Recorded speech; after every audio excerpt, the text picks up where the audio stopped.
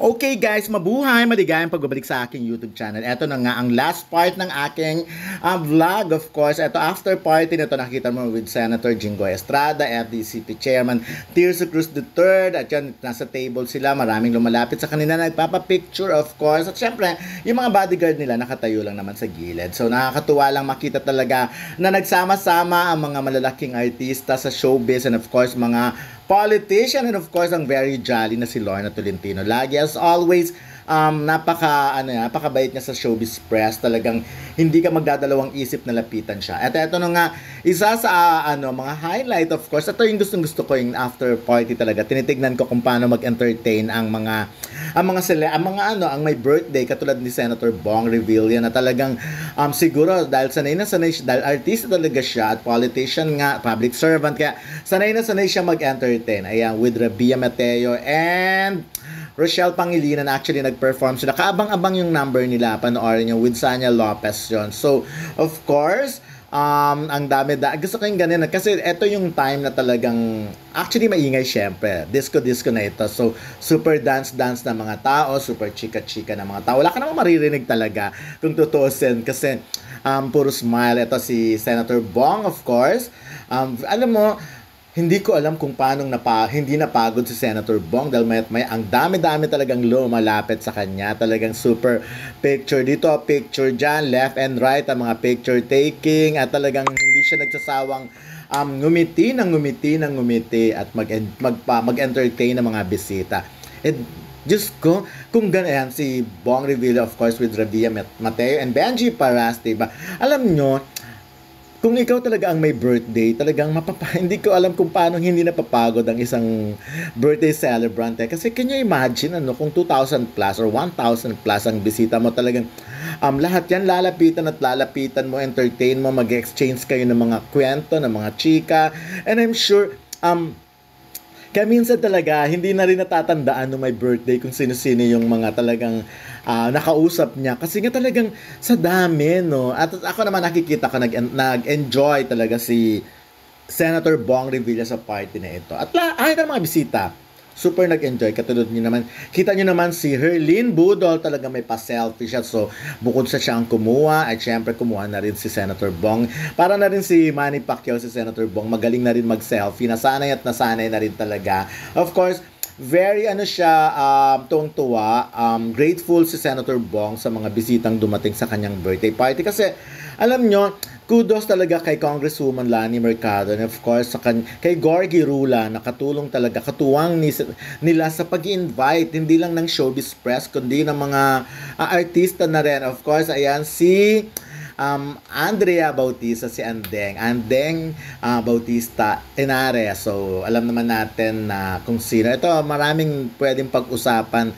Ito kasi pagkaharap mo siya, eh, nag nag nag-reminisce kayo and of course 'di ba fresh na fresh nga yung pagkawala ni Ethel Ramos so napag-uusapan at pag-uusapan pa rin ayan si um, Senator Bong with Roy Vinson and yung mga kids niya ang tatangkad 'di ba talagang show business yung in terms of looks talagang hindi papahuli but again eto nga ayan itong table na to so talagang with Senator Jinggoy um, Tirso Cruz III, ayan si Miss Wilma Galvante, at kung sino-sino pa, napakarami. Hindi ko na to masyadong, hindi na ako masyadong nagstay kasi mga past 12 na nag-start na kaming umuwi. Kasi nga, I'm sure, hindi ko alam kung anong oras aabuti ng party, pero chika-chika yan for sure hanggang hanggang sa mag-enjoy. Ayan, siyempre, again ulitin ko lang, natutuwa ako kay Lorna Tolentino kasi nga ang ang sarap-sarap niyang kasama at okay na okay siya. Talaga isa siya sa mga mababait. Ito, etong table naman ito, ayan, nakita niyo naman kung labanan ng ganda ang pag-uusapan, 'di ba? Walang kokontra, walang wala talagang ano, ang hirap pumalag. Imagine mo, Ami Austria ang mukha, oh, 'di ba? Wala halos, di ba? Ganyan lang simple-simple ang makeup. And of course, Lorna Tolentino, talagang babalikan at babalikan mo yung mga pelikula, o, di ba? Parang Diyos ko, o.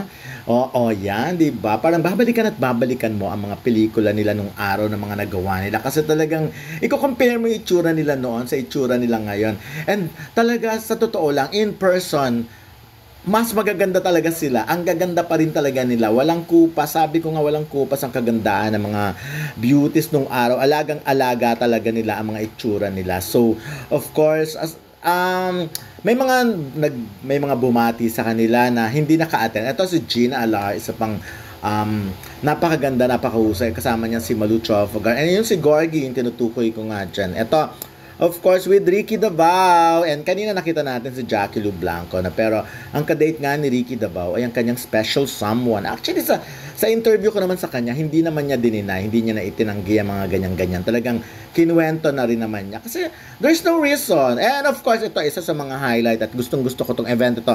Nung nakita kami nila Angelo De Leon. And Mikey Kohuangko. Si Angelo nakikita ko siya pero si Mikey talaga sobra dekada na siyang hindi ko nakita. Oh, yan, nagulat siya na nakita kami. Bumesa siya pero video-video ko sa sabi niya, wala kang kupas, hindi ka tumatanda. And inintroduce ko siya sa mga ibang showbiz press. Tuwang-tuwa siya. Oh. Alam mo si Mikey, walang, uh, yung itsura niya, yung katawan niya, very jolly. Sabi niya, pinipicturean nga namin. So, sabi, ba't kami lang dapat kayo rin kasama? So, ayan na, nagpa-picture kami with Mikey and Angelo alam mo, iba talaga ang attitude ng mga artista noon. Nung 90s hanggang early 20s. Kasi talagang very ano sila, siguro dahil wala ang social media noon, kaya talagang very tight ang mga chika, yung mga showbiz press talagang laging personal yung usapan. So ngayon nga kasi 'di ba dahil social media, lahat ng mga ano ng mga artista may kakanya-kanyang vlog. O, kita mo naman si Lorna Tolentino. At again, puro pictures na lang ito, mga pahabol na pictures with Ricky Dabao and special someone and of course Gina Alahar, Malu Chofagar, Gorgie Rula again. At tuwan-tuwa kasi ako dito dahil for the longest time na hindi ko nakikita si Mikey, ganun pa rin siya. Pero ito talaga, gandarang gandara ako. Sobrang ganda. Tignan mo naman si Ami Austria. Talagang, Diyos ko, sabi ko nga grabe, no? Um, talagang, ano sila, timeless beauty talaga sila. So, ito si Andeng Bautista. By the way, pagpasok mo, bago ka pumasok sa Grand Ballroom, makikita nyo muna. Ito yung mga mga pelikula ni Bong Revilla na costume niya. Ayan, siyempre tatandaan namin tong Captain Barbell at yung mga iba pa niyang ginamit na costume sa mga pelikula. Di ba ganun? Napakarami niya nang nagawang pelikula.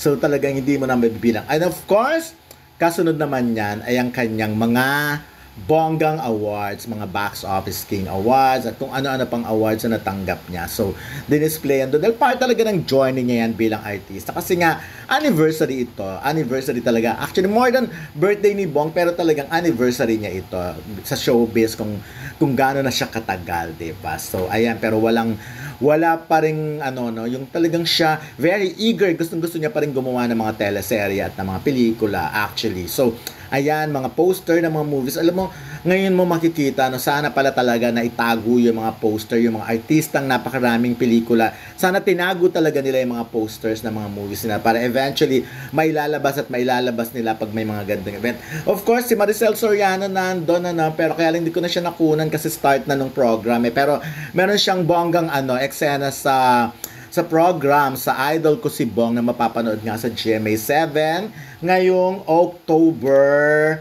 7. So, tingnan natin kung ano mga chika niya doon. Pero anyways, again, happy happy birthday kay Senator Bong Revilla at maraming maraming salamat sa friendship at sa pag-iimbita sa amin. Napakabait mo sa aming mga taga